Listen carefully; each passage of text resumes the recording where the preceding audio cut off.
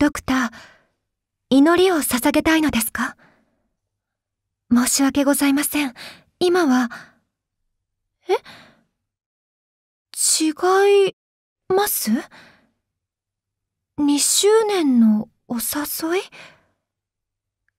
それは、少しの間、堂々とお休みしてもいい、ということでしょうか？ドクターの皆様、こんにちは。プラマニクス役の早見沙織です。アークナイツ2周年うわーおめでとうございますあっという間の2周年でしたね。もうそれもこれもドクターの皆様のおかげでございます。本当にありがとうございます。えー、プラマニクスさんはですね、とっても偉い巫女さんなんですけれども、あの、実際のところ、本当の彼女は自分のお部屋で編み物して紅茶飲んで読書してでも穏やかな優しい日々をのんびり過ごすようなねそういう日々を送りたい普通の少女でいたいっていうねそんな子らしいでございますよ。まあ、たまにねあの堂々と休みたいとかね。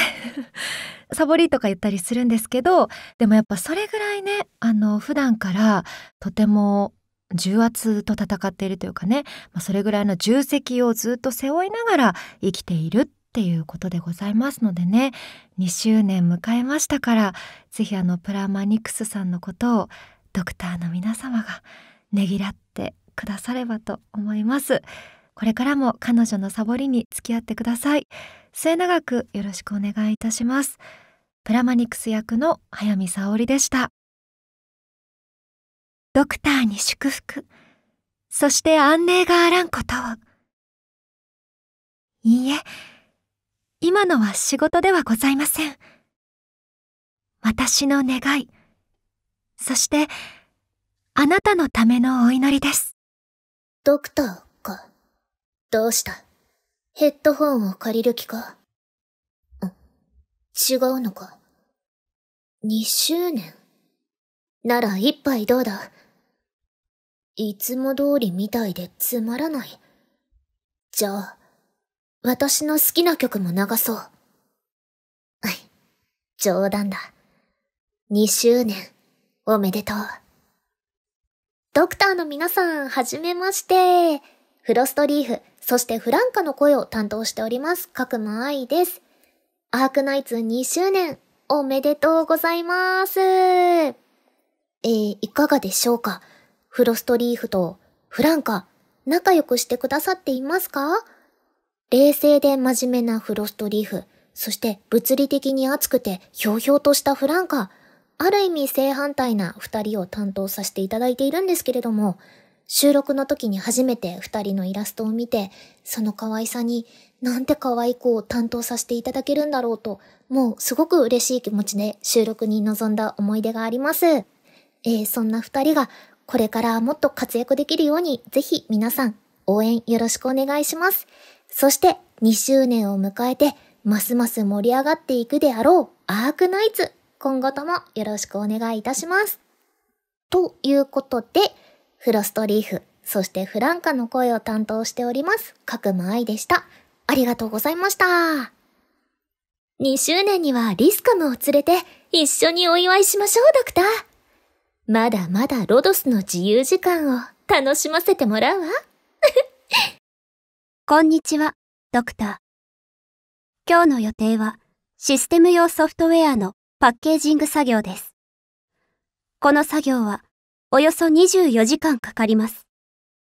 内容はシンプルですが、シングルタスクしか対応しないため、作業の間声をおかけになっても返答できない場合があります。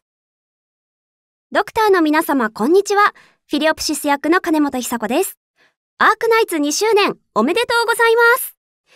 フィリオプシスはリリースの時から実装されたオペレーターということで、オペレーターなので結構難しいこととかを言っているあの真面目なキャラクターかなと思いきや割とこう変わらないテンションで冗談を言ったりと意外とお茶目な部分が結構あるキャラクターなのでそんな部分が皆さんに魅力的に伝わればいいなと思って音声収録の時も頑張って収録しています。そしてえー、そんなフィリオプシスですが日々の出来事を日記で記録しています彼女の日記帳に楽しいページがもっともっと増えますようにこれからもフィリオプシスそしてアークナイツのことを、はあ、よろしくお願いします。冗談です。ドクターとは2年間ご一緒にお仕事を行っていた重要な時間がありました。どんな命令でも完璧に取り行う所存です。では、コマンドラインどうぞ。やあ、ドクター。こんな遅くなのに、まだパーティーの準備？外勤帰りで、おちびちゃんのところにお土産を置いてくるところなんだけど、その後で手伝ってあげようか。あれ？いいの？早く行けって？じゃあ、無理だけはしないようにね。ドクターの皆様、こんにちは。カーネリアンとビーズワックス役の北村エリーです。えー、アークナイツ2周年おめでとうございます。なんと、姉妹オペレーターで2周年を迎えることができました。イエイイエイ。えー、妹のビーズワックスちゃんの方は、えー、先に加入しておりまして、で、つい最近ロドスに姿を見せるようになったのが姉のカーネリアンなんですけれども、まあ、ややこう天然でぽやーっとしたところもある妹とは違って、こう、もういわゆるクールビューティーな感じで、でも、えー、妹を大事にしていたり、年下の伯爵を見捨てられなくて、なんだかんだ付き合ってあげたりと、こう、情に熱い、すっごくイケメンなお姉さんです。えー、しかもですね、一見正反対に見えるこの姉妹なんですが、二人とも戦闘になると、とてもとてもかっこよいです。えー、そんなところもぜひ見ていただきたいなと思っております。というわけで、ロドスのオペレーター姉妹、カーネリアンとビーズワックス、これからどんな活躍をするのか、皆様ぜひご注目してくださいね。そして、アークナイツのことを引き続きよろしくお願いいたします。そんなわけで、北村えりでした。2周年。私も少しお姉ちゃんやドクターのような頼れる大人になったのかな。あ、ドクターもお茶いりますか？もう一杯入れますね。はい、どうぞ。そろそろお姉ちゃんが帰ってくるので私、部屋に戻りますね。お仕事、頑張ってください。あら、あんたまだ生きてるの？記憶喪失でも悪運の強さは変わらないのね。いろんな意味でおめでたいわ。それとも、全部忘れたっていうのが嘘なのかしら。まあいいわ。とりあえず2周年おめでとう。はい。ドクターの皆様、こんにちは。W を演じさせていただいています。竹達彩奈です。